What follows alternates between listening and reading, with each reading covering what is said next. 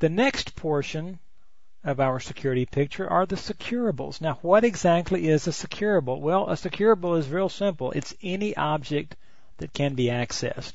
If someone's going to need to access something to get information from it, to write information to it, or anything like that, then that is a securable object. It's something that needs to be secured. Now, securables have been nested in scopes, and this is really cool. You're going to like this.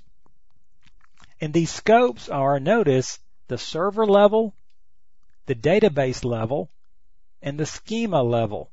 And we'll get to schema a little later in a little bit more detail. You're going to like it. Let's take a look at some of the server securables, or, and actually we're at the server scope, but I like to call them securables because it makes it a little bit more consistent and it makes a little more sense. All the logins to that SQL server are securable, right? Because if you can log in, I want to be able to set some security on you and make sure who you are and where you're going.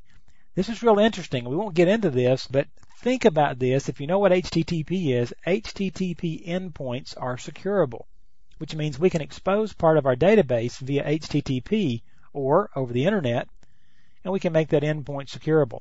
Certificates on our server are securable. Events or event notifications on our server are securable. The databases obviously need to be securable because we want to limit which one of the logins to the SQL Server can go to any particular database. Now, inside each database, the things that are securable obviously are users, the roles in those databases, the application roles in those databases.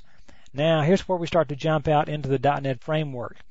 Assemblies, individual assemblies that run in context of databases are securable. DDL events, and we'll talk about those later. Schemas, and again, we'll talk about schemas later, but schemas are securable. Now, what this is really cool is we can build objects and put them in the namespaces of schemas and then change permissions to that schema and automatically change permissions to all those objects. That's really cool stuff.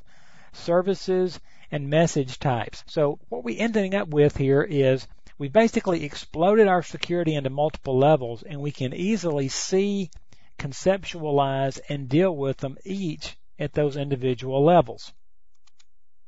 So again, securable is anything that people or logins or any kind of entity is going to touch and try to use.